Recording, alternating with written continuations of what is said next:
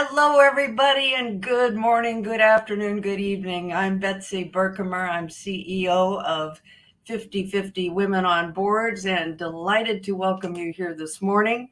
Uh, we are a nonprofit 501c3 organization committed to advancing women in the pipeline to corporate board positions. We do this through quarterly and annual research, of course, board readiness workshops, events uh, throughout the globe, and advocacy efforts. So, our goal is to have 50% of the corporate board seats held by women and 20% of all corporate board seats held by women of color. Today, for our conversation and celebration, we are joined by two of our 50 Women to Watch for Boards selection committee and seven of our finalists. And the 50 Women to Watch for Boards initiative aims to assist companies seeking diverse talent by spotlighting board ready women who have yet to serve on a company board. And in today's discussion, we'll explore the importance of diversity and inclusion with the board of directors, as well as what drives our finalists to serve on corporate boards and how our 50 Women to Watch for Boards campaign will reverse the lack of diversity on. By the way, there are 457 companies in the in the Russell 3000 that still only have one or no women on board. So our campaign is definitely going to help them uh, make that decision. So please help me welcome Irene Chang Britt, uh, one of our selection committee members. And I, Irene is a seasoned board member. She serves on Brighthouse Financial and Victoria's Secret boards and many, many others. Good morning, Irene. Right, let's see. And then uh, also another selection committee member is Maria Ariza, and Maria is the CEO of Bolsa International called BIVA in Mexico City. And it, under her le- leadership, BIVA has grown to be uh, an uh, outstanding uh, stock exchange in Mexico City with 19 billion US dollars in funding companies. And she's recognized in 2001 as the most innovative company in Mexico. So, welcome, Maria. Thank you, Betsy. Nice, nice to be here. Thank you. Well, first, I'd like to ask Irene and Maria a couple of questions before we introduce our finalists with us today. Um, Irene, could you speak to the importance of diversity on corporate boards and why this effort is uh, so meaningful to companies? Yeah, absolutely. I was so thrilled to be part of this because I truly believe in diversity, not for just the sake of um, gender and ethnic diversity, but really about how we as board members can represent the voice of our customers, right? And so if you can't connect these days, especially with the voice of your customer, it is uh, it's harder from a business strategy standpoint. So there's a truly a, a business case for for diversity, and we've believed that for a long time, but it's just come to a crescendo now.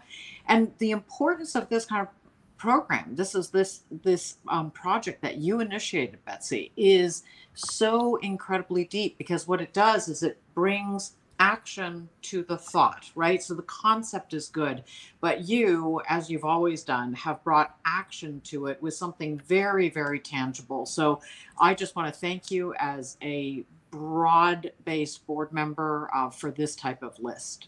Well, Irene, it's been great to be a friend of yours for so many years and all you've done for women on boards. And uh, you yourself are an example and a role model of uh, so that women can follow your footsteps. And uh, Maria, you have a great influence on companies in Mexico and worldwide where you invest. Uh, how, how do you feel about diversity on corporate boards?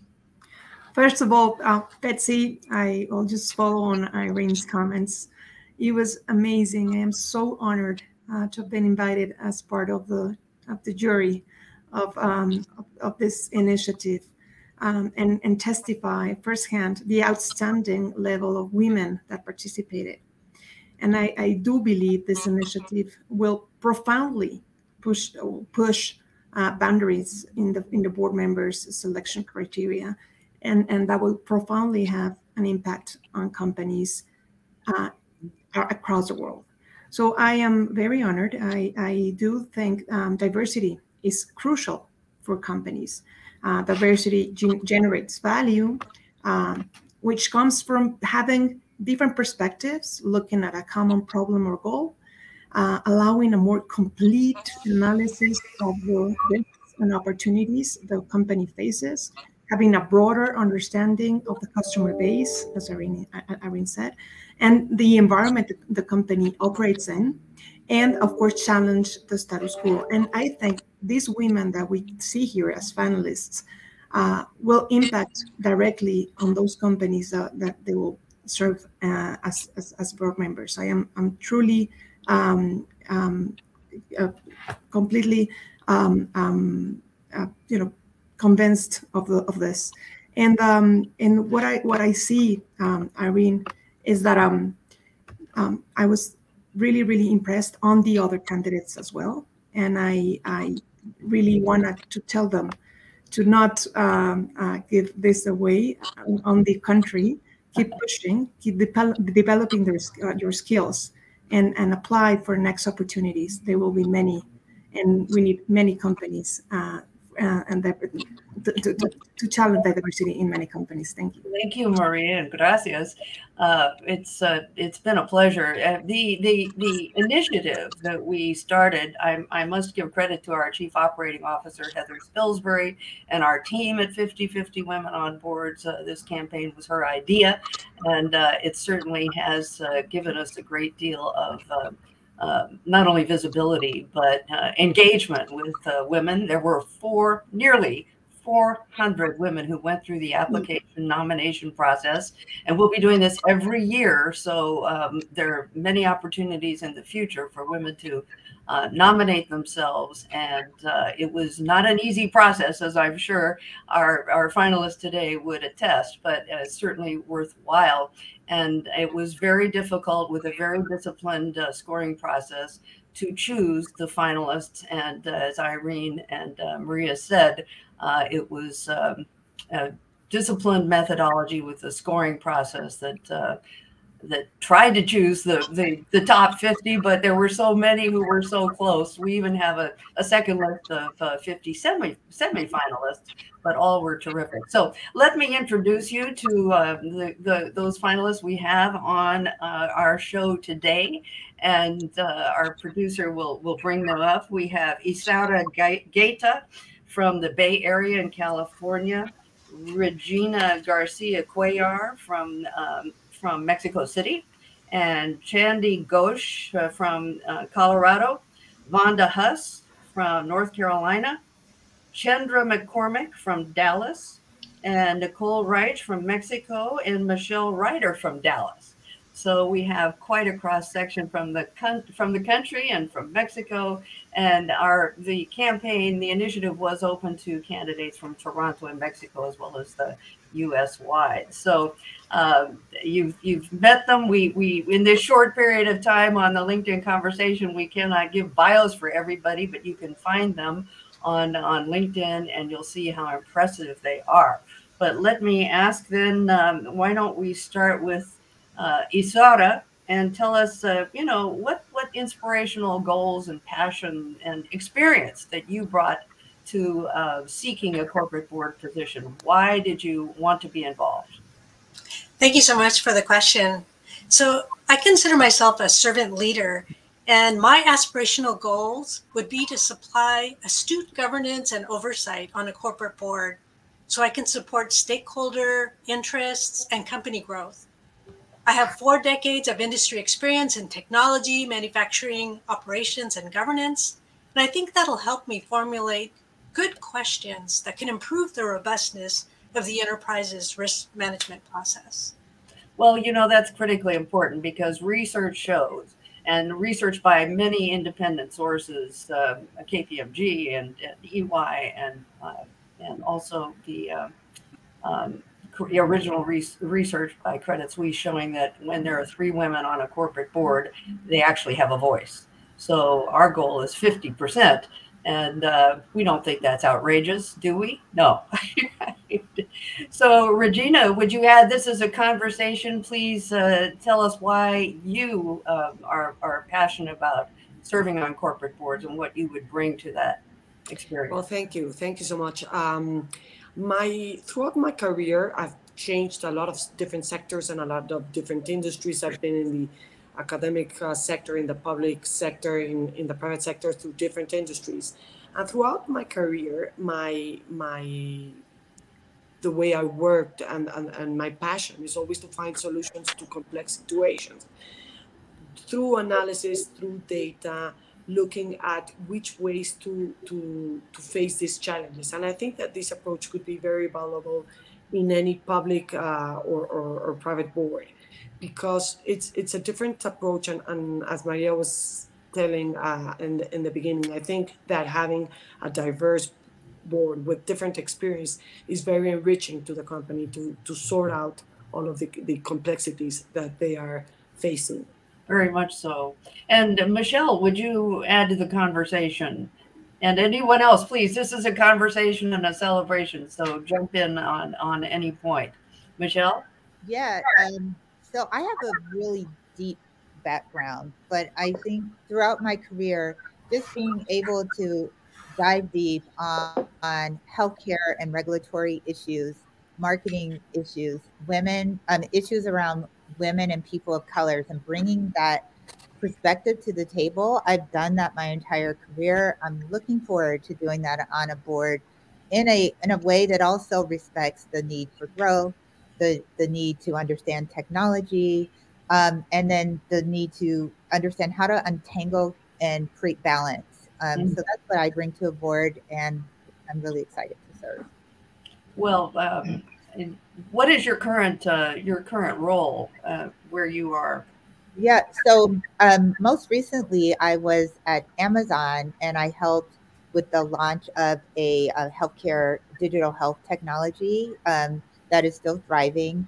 And um, but recently I've taken a role as interim chief marketing officer for a, a healthcare company focused on behavioral health for, for healthcare workers which is a huge um, epidemic. Um, 50% of all doctors report feeling burnt out and stressed. And that stigma um, with doctors not wanting to reveal that and be the strong um, person when they're taking care of patients is a stigma that we need to break down and uh, accept them and understand how important they are um, and how important their mental health is.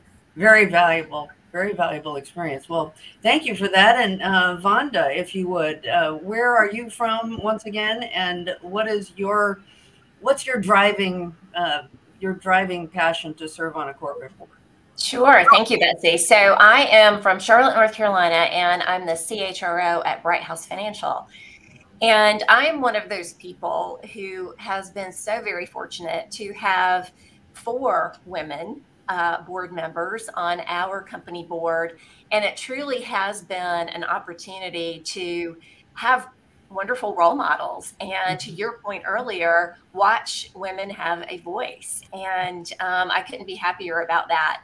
You know, the the role of a board member is so interesting because it's not only a fiduciary and governance role, but it's also an opportunity to um, bring a variety and diversity of thought and to support a management team to be very successful, which is sort of why I got into the CHR role, CHRO role in the first place. Um, that's sort of what I do on a daily basis is try to help a management team be successful and profit, profitable as a company.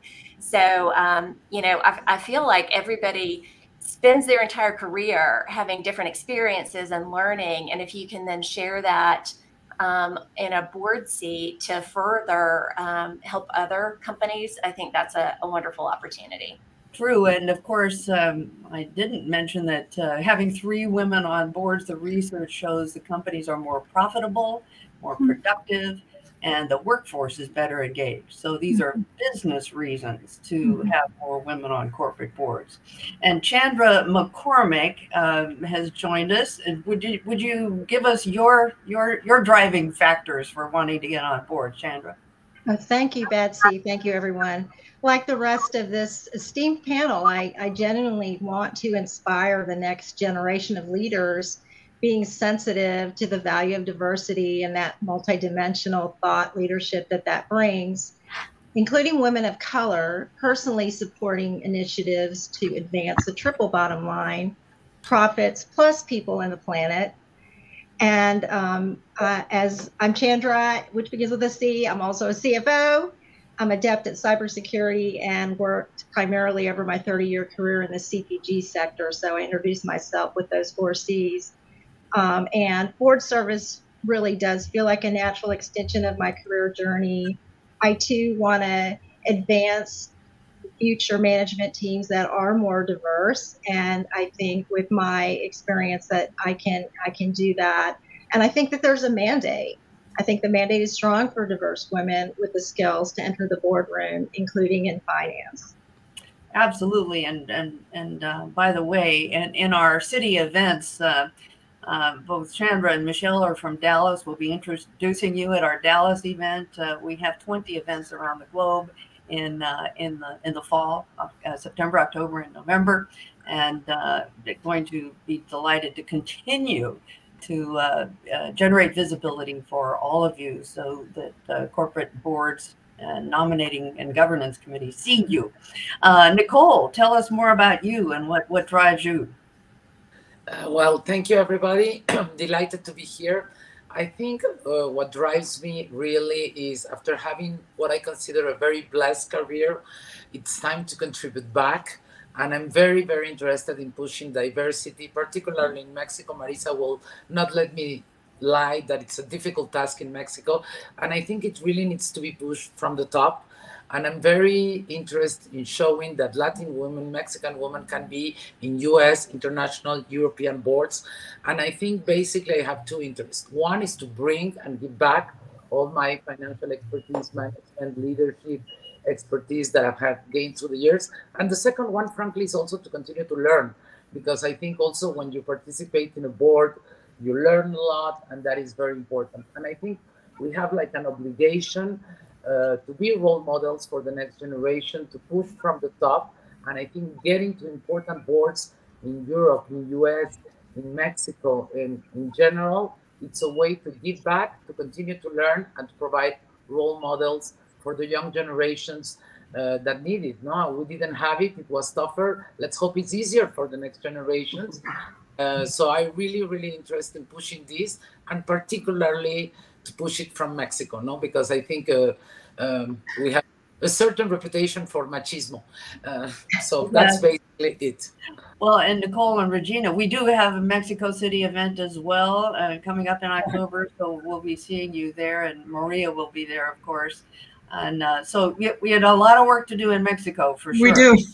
I agree. I uh, agree. Uh, Maria, what is the level of, uh, of number of, not number, but statistic of women on Yeah, board?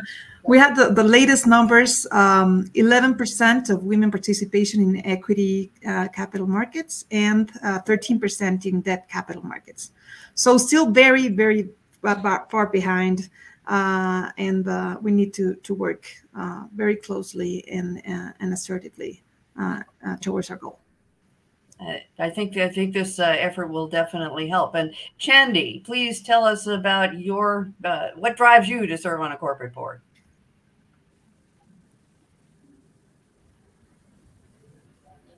Hey, I'm Chandy, and I'm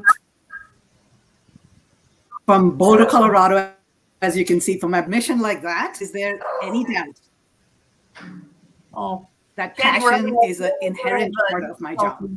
I lead a keep talking. Wait, I lead a nation. Sorry, can you hear me? It's not quite uh, not quite uh, synced with your picture, but that's okay. Keep talking. Okay, so I lead a nationwide 911 mission critical tech business governed by the Department of Homeland Security and the FCC. So I'm always looking to innovate in our regulatory environments to improve citizen safety to support every one of us right here uh, while balancing enterprise risk. Mm-hmm. So remember, 911 is the first line of defense. On the flip side, I'm a P&L owner of the business, and I've been I've had the privilege of working with a private equity board for the past several years for a very successful ex- exit, applying my strengths in governance, oversight, and building high performance teams. And then my passion, the other passion, is to give back to the community. So I founded and chair a nationwide nonprofit for female first responders who suffer a very high percentage of PTSD.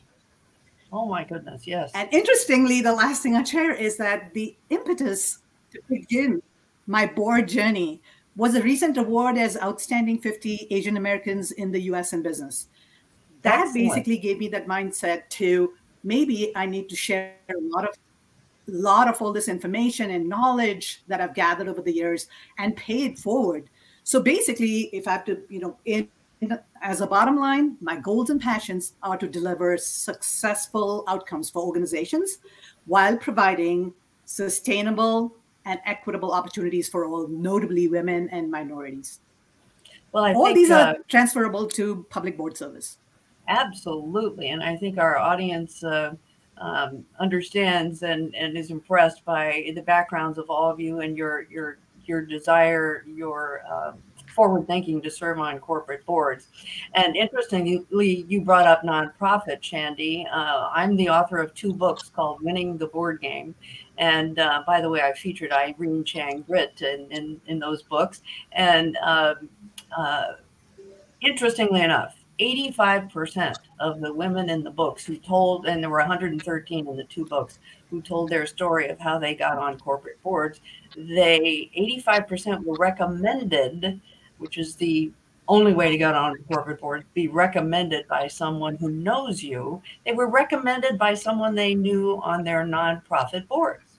And the beauty of serving on nonprofit boards, besides um, advancing the the mission of that board, is that many board members see you in action and are impressed by you where they might not see you in action uh, at your business. So, uh, I have, a thought. Uh, have any of you? I know all of you serve on nonprofit boards as well as uh, as very business corporate careers. Have you experienced uh, being recommended by a board member of a nonprofit by any chance for boards? Well, not yet. but yet. expect it can happen. Definitely, definitely. Or, yeah, for me it was the other way around. From a public board recommended to a nonprofit, which is actually Junior Achievement, which I guess most of you know. So I'm also a member of Junior Achievement Mexico, and it was the other way around. I got recommended on a public board for the nonprofit board. Very interesting. Well, certainly serving on nonprofit boards as well as corporate boards uh, helps you become a very well rounded executive and uh, understanding on the nonprofit boards uh, how the boardroom operates. And it's a valuable background for your credentials to serve on corporate boards. So, most women do serve on nonprofits uh, that we, we know and we talk yeah, to, and uh, their next step is uh, corporate board. So, Irene and Maria, could you could you elaborate a bit? I mentioned that most potential candidates are recommended to boards by someone they already know, which is why we, you know, train our women in our workshops about how to articulate their experience for boards and how to strategically network. What have you seen uh, these days about who recommends whom uh, for corporate boards? Um, I'll start in, Maria, if that's okay. I, I mean, the, the, opportunities can come from anywhere, right? And so the recommendation might be somebody that you know very, very well, might be from a not for profit board or your workplace, um, but it could be from anywhere. My first board came because I did a speech, a keynote speech, um, and met a couple of the CEOs in the audience. And two years later, one of those CEO chairs called me and said, I need you on my board. Um, never would have thought, but I think your point is that people have to know you, what your intent is, what your skills are, having a good elevator speech prepared to make sure that you are putting your name out there is absolutely the right thing to do. Maria? And, and just uh, to complement that, um, aside of visibility, that it's very important that you do for yourself, you know, kind of making yourself, um, you know, visible for others to understand what you do and what you're good at um, promoters are very important part of it as well. So people that would uh, talk about you when you are not there and recommend you um, for, for, for, positions. So maybe those um, no, no, companies or boards do not know you, but if a if a promoter or a person that would be not, even, I mean, could be your mentor or not, um, you know gives the name puts the name on the table they will they will they will listen so promoters men promoters are very important at, at least in mexico. Uh, and visibility of course for yourself it's very important as well. Yeah i think uh, absolutely right. And, and and and promoters or allies Can I add a comment there? who champion women for boards and for advancement in their careers. So uh, I- look, I'd like to add a couple of quick comments. One is, uh, I think one of the big oh gosh Yeah, one of the biggest learnings was the fact that you know recruiting male allies to my board has been tremendous. And the other thing is you get a lot of visibility. Um, i have like t-mobile amazon comcast motorola all of them coming to me to ask to help this mission because they love the fact that they're supporting first responders uh, overcome ptsd Oh, so great. they are coming to me so i'm getting all networked into all these large Oh, good. organizations which is amazing Oh, very important point. I'm glad you mentioned that. Yes, for someone on a nonprofit board using the connections or uh, inviting people they don't know to serve on the corporate on the nonprofit board helps advance their own uh, visibility. Well, I'm so sorry that uh, our half hour is coming to a, a dramatic close quickly, and uh, I'd like to thank uh, Maria and Irene for their service on the selection committee and for being on this uh, celebration conversation today and uh, taking the time to engage with us because this whole process has taken months. Yeah.